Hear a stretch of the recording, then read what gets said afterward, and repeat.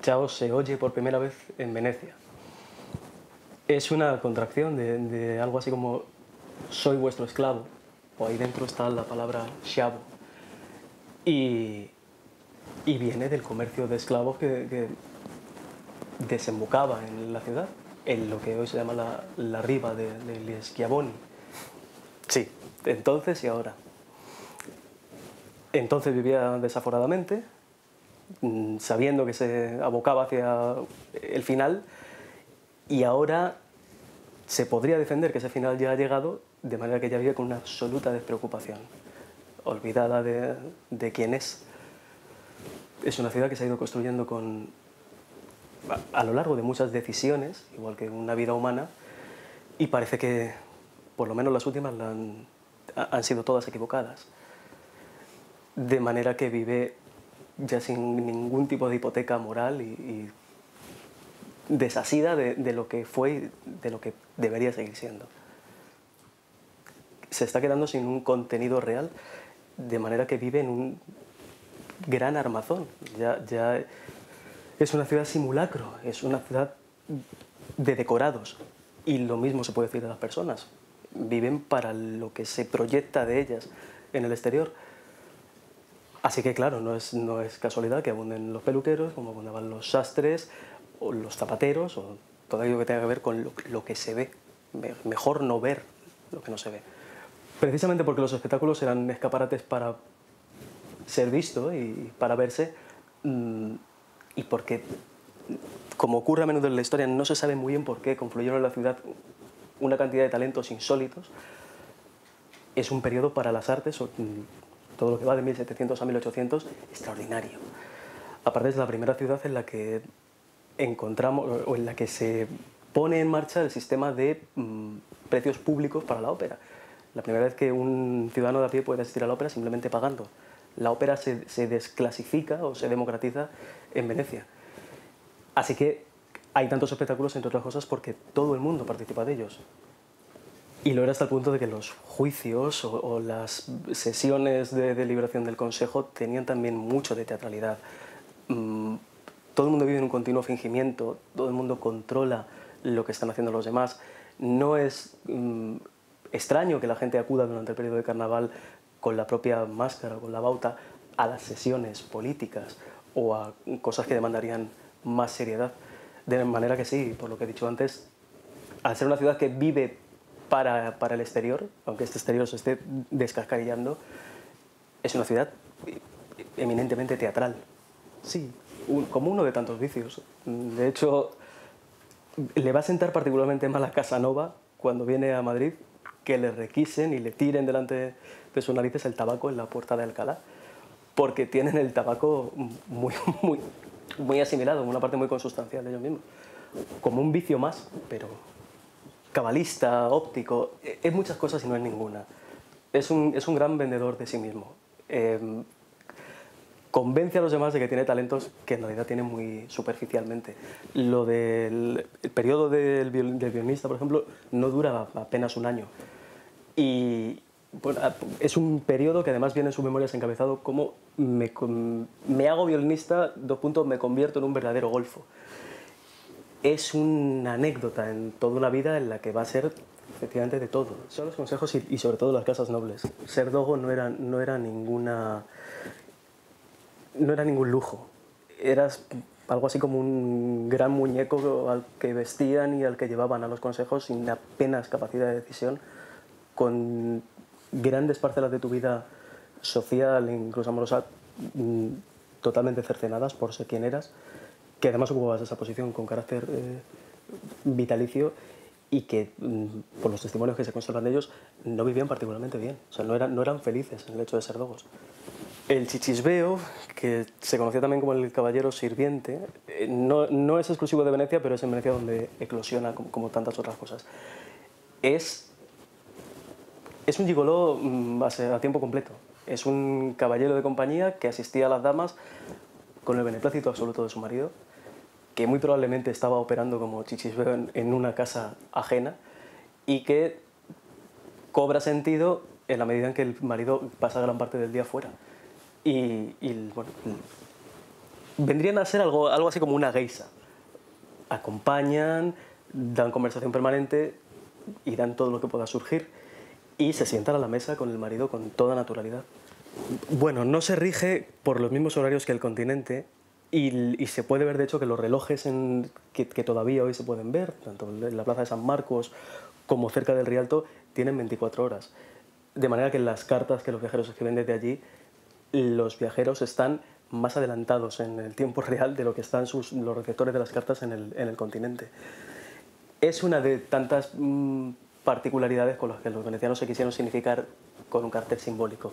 Nunca se sintieron parte de, de nada, mucho menos de, de, Italia, que como tal no existía, pero con cosas así enfatizaban ese carácter de, isla y de universo aparte. Yo quizá comenzaría por la, la Escuela Grande de San Roque. Mm, para ser como yo creo que es una de las cumbres de la historia del arte, no ha tenido la prensa que han tenido cosas como la Capilla Sistina, que a mi juicio está perfectamente a la par. Es, un, es una obra descomunal, que también parece mentira que sea fruto de una misma mano, como es Tintoretto, que la pinta en el curso de muy poco tiempo. Y quizá también la, la salute, que, que, es una puerta de entrada inmejorable a lo que te va a deparar toda la travesía por el Gran Canal. Para mí es lo que constituye la imagen de Venecia, es lo, primero que me viene a la, a la, retina cuando la evoco. Una tercera parte, quizá las puertas del arsenal, por, por lo que prometen que, que se contiene allí dentro. Hoy se puede acceder mm, cuando uno visita la Bienal, pero entonces era un, pues una de las factorías más grandes de Europa, donde salían barcos en apenas dos días y que, mm, que tiene un gran interés arquitectónico y, humano, porque gran parte de la ciudad vivía de alguna manera derivada de, de, esa gran naviera que estaba en permanente funcionamiento. Por, claro, la, primera de ellas va, va va cayendo en desuso hasta, hasta desaparecer por completo. Toda la riqueza de Venecia se cimenta en un comercio y en un dominio del Mediterráneo que con el paso de los siglos va perdiendo y perdiendo y perdiendo hasta quedar reducida a lo que hoy es. Y el vidrio no ha perdido hoy su pujanza, y de hecho es una de las tristes atracciones turísticas de las que se puede disfrutar hoy, pero también es un, está caricaturizado con respecto a lo que fue. El vidrio bueno, eh, resultaba tan importante para la ciudad que si alguno de los artesanos mm, abandonaba la ciudad y con ella el secreto de la fabricación de vidrio en Venecia, agentes de la República perseguían a ese artesano y, le daban muerte. Mm, hasta ese punto eran celosos de, la técnica específica del vidrio que había en la ciudad. El carnaval es una época en la que todo vale, en la que no dura lo que dura ahora un carnaval de apenas 15 días, dura seis meses. Y, van van disfrazados desde el propio dogo o, los grandes magistrados hasta, hasta los bebés.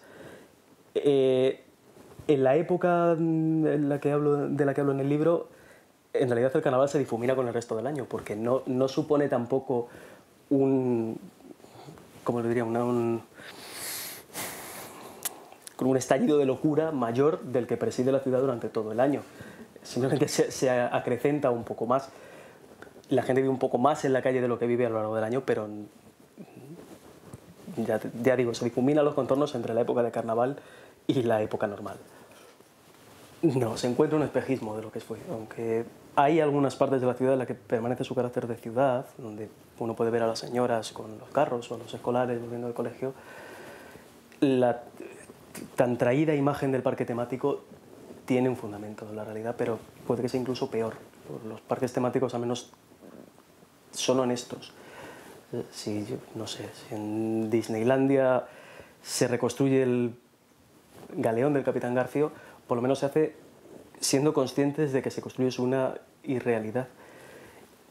Mm, lo mismo ocurre en parques como Skansen, en Estocolmo, o la plantación de los colonos en, Plymouth, en, Nueva Inglaterra. Mm, lo peor de todo es que Venecia mm, usa escenarios reales y comparte con todos esos mm, lugares tan artificiosos la idea de que la cultura es un, un elemento, igual, que la historia, un elemento reproducible y vendible. De manera que se va a encontrar quien va hoy a Venecia una ciudad telón,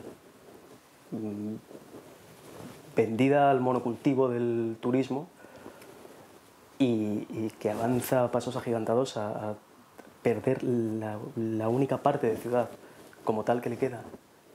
Pierde habitantes a un ritmo mm, asombroso y preocupante. Está ahora mismo en 55.000 y en los años 50 tenía 174.000. Y desde luego se echan mucho en falta, sobra capital financiero y falta capital humano y falta una conciencia de las autoridades venecianas de lo que está pasando. Ni siquiera hacen recuentos de los turistas que afluyen a la ciudad. A una ciudad que no puede soportar un turista más. Las calles ya están atestadas y las grandes naves vomitan 5.000 personas al día en unas calles que no dan más de sí y que están dejando de dar espacio a comercios que antes eran imprescindibles para la vida normal. En el Gran Canal se han abierto 16 hoteles en los últimos 10 años y se han cerrado bancos, mm, ambulatorios, hasta instituciones oficiales. Eh, ¿Qué va a encontrar quien va hoy a Venecia? Pues una ciudad que está a esto de estar en la lista de patrimonio en peligro de la UNESCO. En teoría tienen hasta mayo del año que viene para llevar a cabo las instrucciones que la UNESCO le dio en, en este mismo año. Hay tanto que hacer que parece prácticamente imposible que vayan a, a llegar a tiempo. Y todos los que vamos allí, una vez que vamos allí, hasta los que como yo somos devotos de la ciudad, no nos diferenciamos, somos una cabeza más en la masa de gente. Y así está, es un, es un verdadero termitero en el que no se puede diferenciar ya al habitante del que ama verdaderamente la ciudad, de quien está allí de paso y va a abandonarla eh, esa misma noche y quien con su estancia a lo largo de apenas unas horas ha contribuido a vulgarizarla todavía más. Así que sí, lo que se encuentra es un, un triste escenario mm, basado en hechos reales. Claro que recomendable. De todas maneras, aunque no se sigue ese consejo, se va a perder. No, no, no le tiene que caber ninguna duda. Pero solo perdiéndose mm, es posible que encuentre cosas verdaderamente hermosas. Y solo perdiéndose va a salirse sin darse cuenta de los circuitos establecidos. Es una ciudad en la que apenas tienes que moverte un par de calles más para allá para estar solo.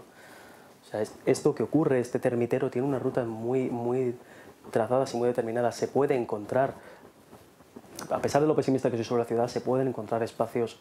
Cada uno puede encontrar una Venecia tranquila y reposada en la que reflexionar, como si fuera corto maltés por la noche.